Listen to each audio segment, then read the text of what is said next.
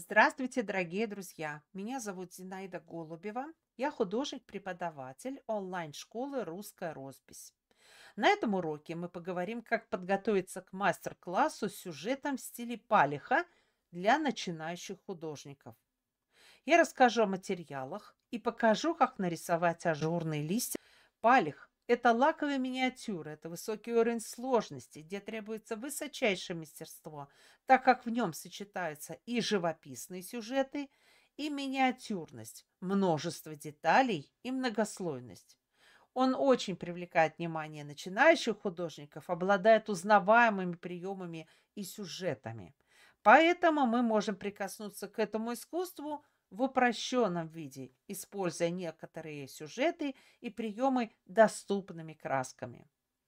Но даже для этого требуется владение графикой тонкой кистью и мазковыми элементами.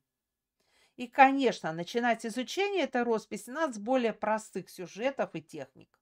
У меня создан большой курс знакомства с русской росписью, куда вошло более 30 уроков с небольшими сюжетами по различным техникам росписи, чтобы новички могли познакомиться, выбрать для себя свое направление и освоить базовые навыки. Об этом курсе я расскажу уже на вебинаре. А один из этих уроков как раз мастер-класс по знакомству с пальхом вас ждет на платном вебинаре. Итак, нам понадобятся такие материалы, как формат листа А5, плотный лист бумаги, который мы с вами подготовим. Это белый лист бумаги, на ней будем рисовать карандашом, и цветная бумага серых оттенков. Если у вас нету цветной бумаги плотной, рисуйте на белом листе бумаги. Рисовать я буду мягким карандашом, для того, чтобы вам было все четко видно. Линеечка обязательно, резиночка. Это вспомогательные наши материалы. Ну, теперь поговорю я о тех кистях, которые нам нужны. Максимальная кисточка для палиха – это кисточка номер три. Это может быть и кисточки номер один, два, три, белка, колонок, синтетика. Какие у вас кисточки все маленькие есть – они все вам могут пригодиться. Я использую краски темперные завода Санкт-Петербург. Это наилучшие краски э, для рисования палехской миниатюры. Краски продаются либо поштучно, либо в набором маленьких или больших упаковочках. Лучше всего брать основные цвета это белила титановые, сажа газовая, кадмий красный светлый, либо темный, желтый кадмий средний и лимонный, изумрудная зелень, ультрамарин.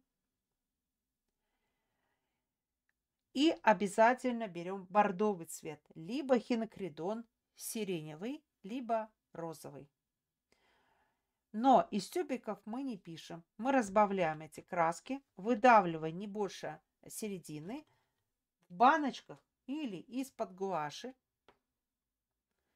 Вот. Размешиваем при помощи деревянных палочек или старого древка кисточки. Видите? То есть рисуем уже разбавленными красочками. Если у вас темперных красок нету, тогда можно использовать акриловые краски. Сейчас они есть в широком ассортименте. Старайтесь брать основные цвета, такие как бордовый, зеленый, красивые цвета. Но перед началом рисования обязательно нужно их открывать и размешивать, так как они часто бывают густыми. Вот посмотрите, какая красочка густая, еле проворачивается. Надо размешивать с водой либо со специальной жидкостью для акриловых красок, что практически одно и то же. Я использую баночки а, также для акриловых красок, которые продаются в тюбиках. Можно использовать баночки для бисера, для фотопленки, можно даже для такие вот баночки для анализов в магазине Fix Price или заказать баночки для рукоделия. Итак, Рисую я только разбавленной э, водой с, с баночек, не из тюбиков. Вот. Вспомогательным мне является также кафельная плитка, на которой я развожу свои красочки. А, перекладываю при помощи деревянного палочки сюда все оттенки. И у меня рядом лежит или чуть влажная тряпочка, либо салфеточка влажная, о которой я буду вытирать свои кисточки. Конечно, рисуя на бумаге, можно применять гуашь. Если у вас есть гуашь, и она художественная, то тоже неплохо рисует по бумаге. Но если вы хотите профессионально изучать этот вид росписи и подойти профессионально э, к курсу, который э, знакомит нас с русской росписью, лучше всего подготовиться и купить темперные краски. Дальше нам понадобится акриловое золото. Акриловое золото продается в различных э, фирмах. Так, вот. И обязательно, видите, я его тоже развожу водичкой и ставлю туда палочку. Если у вас в таком виде нет акрилового золота, можете воспользоваться контуром по тканям или по шелку. Там тоже золото такое же, можно его тоже применять. Золото бывает разных оттенков. И вот какой вы видите цвет на баночке, такого цвета будет золото. В палихе есть очень красивые, изящные растения и деревья. Сейчас я вам покажу плакетки с этими изображениями палевской миниатюры, где можно увидеть максимальное внимательное отношение к мелким деталям. Каждая форма листочка, цветочка не оставляется без внимания художника. Все тщательно прорисовывается – максимально точно, четко и декоративно.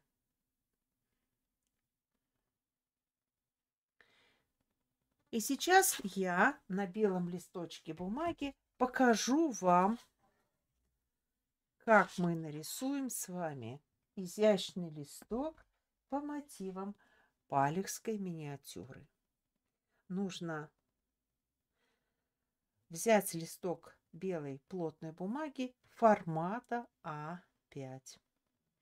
На ней я буду показывать вам, как рисуется этот листик при помощи карандаша. Я советую покупать плотную бумагу в папках для черчения госзнак. Цветную бумагу я покупаю в виде обложек для переплета разных фирм. Это может быть переплет теснения под кожу, это может быть переплет теснением по подлен.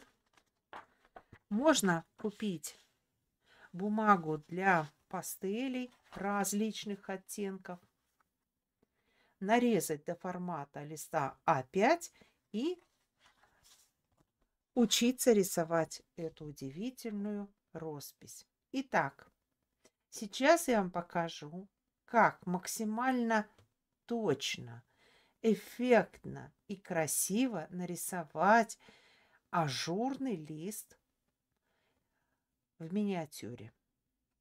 Я выбрала посередине произвольную линию поскольку я буду его рисовать крупно. И лист будет у меня большой.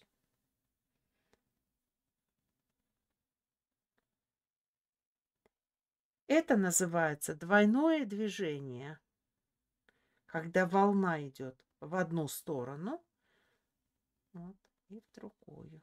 Вот так. Сначала мы рисуем форму этого листа. Потом делим его пополам. Я использую для эскиза мягкий карандаш 10B. Вот. Вы можете для себя рисовать карандашом HB. Далее нам нужно разделить массу листьев на три части. Они могут быть как одинаковыми между собой, так и различными. Итак, верхней части у меня идет загибом красивый носик. Отгибаю в стороны листочки и делаю вот такую форму. Значит, вся длина листика будет разделена на три части. В первой части у нас будет верхний листочек, а в одной трети у нас будет маленький загиб. Можно сделать по два листика внизу, так как у нас здесь уже завершается наш листочек. Каждый листок в палехской миниатюре рисуется максимально точно. Он настолько изящен, настолько эффектен, что нужно этому приложить внимательное отношение карандашного эскиза. Итак, я здесь сбоку еще раз вам покажу, как делится форма на три части. Дальше на три части делится каждая из форм. Носик выходит наружу, а вот маленький носик остается и дотрагивается до этой линии, либо выходит дальше. Так, вот так.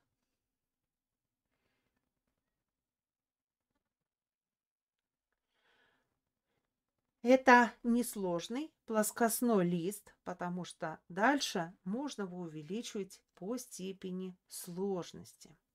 И давайте мы нарисуем его на цветном листочке бумаги.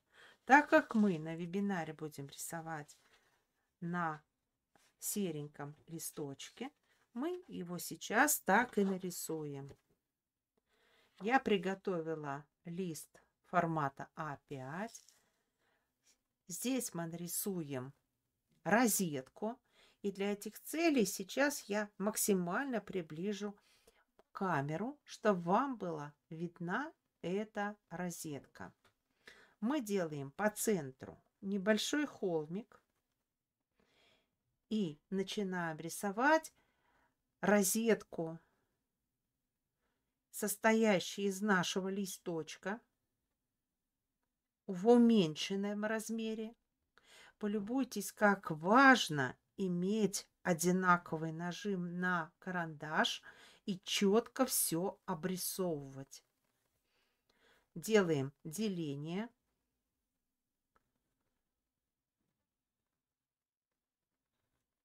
И вырисовываем наши зубчики.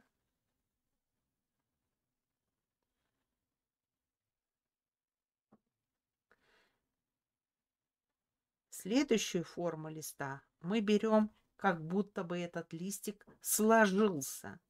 Он также делится на три части и повторяется.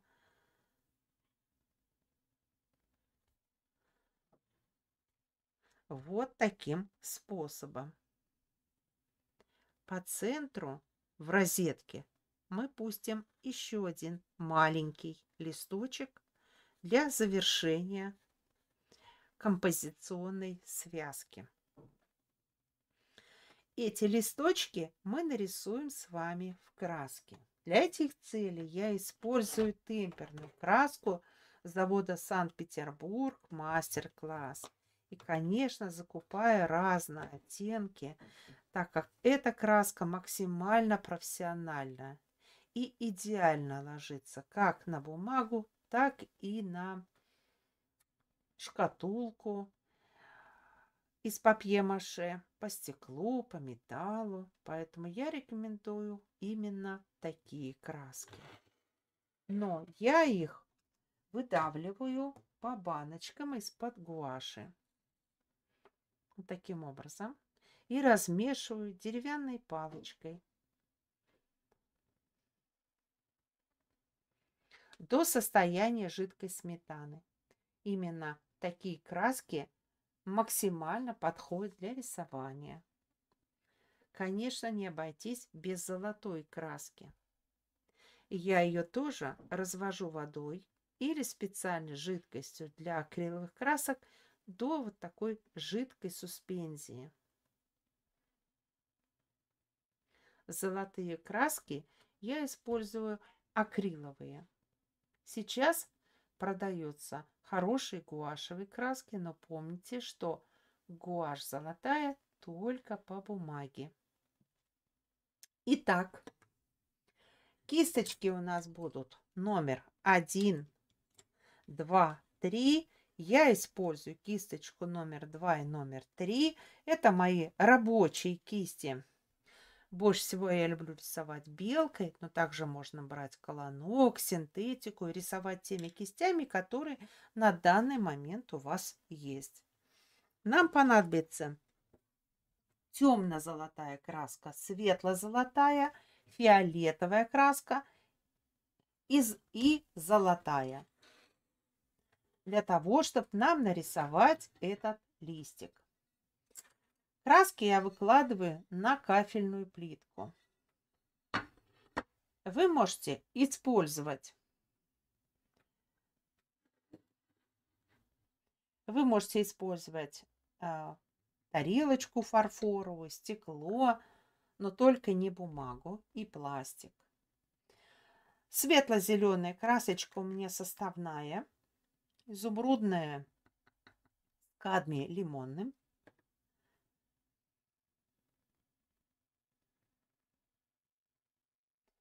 Фиолетовая красочка или синяя, она у нас пойдет для объема. И золотая краска для нашего листика в обрамлении.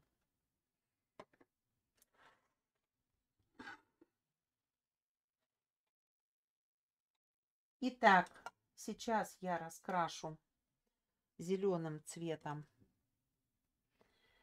нашу розеточку. Можно брать только тоненькую кисточку. Сначала мы обводим и закрашиваем нашу конструкцию.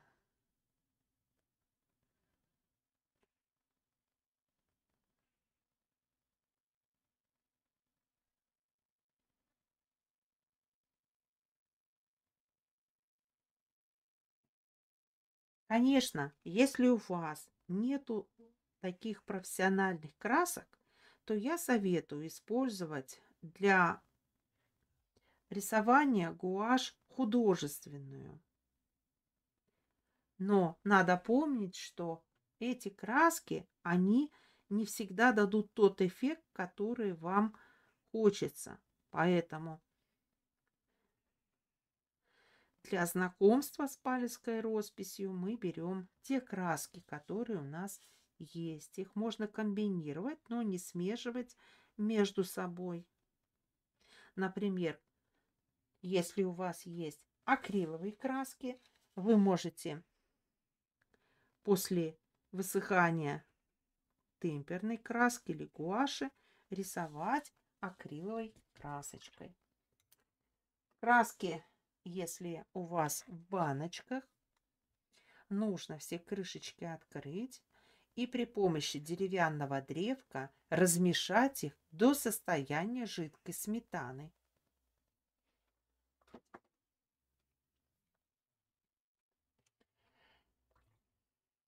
Теперь я буду рисовать тень на зеленых листочках. Для этих целей я взяла кисточку номер 3 или 4 вы можете взять. Размешиваю зеленый цвет и бочком набираю фиолетовый цвет.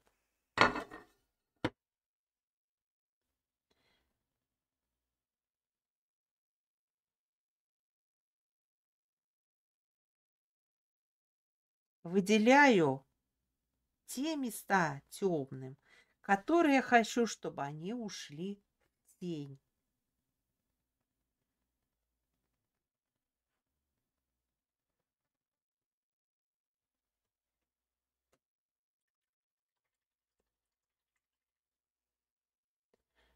А вот теперь я беру зеленую красочку, беру светло-зеленую красочку и рисую свет светло-зеленой краской. В тех местах, где у меня осталось свободные листочки.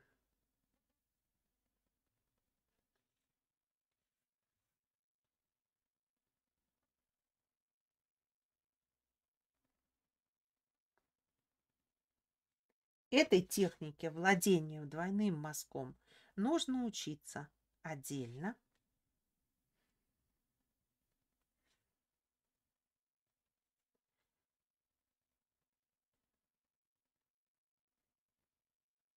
Так. Но даже сейчас можно подобрать это как эффектную такую вот методику, с которой вы знакомитесь на моем уроке.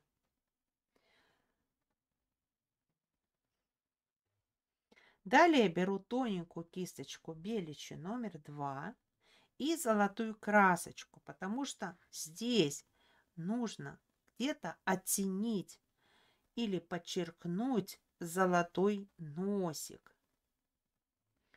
Сделать может, можно не единой, не одной линией, а зубчиками.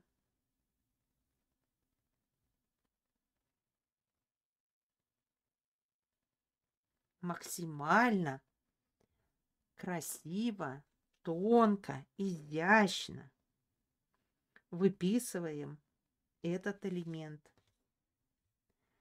Можно даже по нему пустить золотую линию.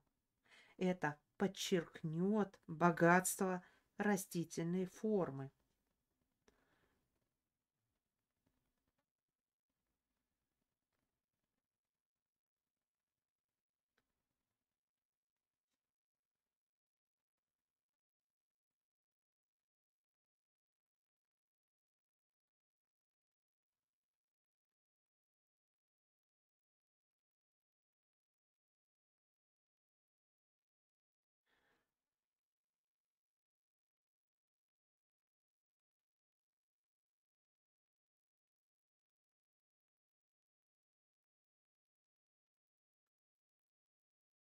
Очень важно подготовить не только одинаковые консистенции краски, но также такие вспомогательные и, э, вещи для, и материалы, как влажная хлопчатобумажная тряпочка, либо салфетка, хорошая кафельная плитка, либо плоское блюдце и тарелочка, две баночки с водой, так как я рисую двумя различными красками, такими как акрил и темпера. И поэтому, чтобы они не смешались, я использую две баночки с водой. А вот как нарисовать пригорок для нашей розетки? Как нарисовать наш цветочек После изучения такого фрагмента приглашаю продолжить знакомство с палихом на следующем уроке, где мы с вами создадим вот такой эффектный сюжет со сказочным цветком на черном фоне. Полюбуйтесь, друзья. Смотрите, как красиво смотрится этот сюжет. А вы прикоснулись к созданию цветочной розетки. Тренируйтесь и приглашаю вас попробовать нарисовать сказочный цветок по мотивам лаковой миниатюры палиха. С вами была Зинаида Голубева.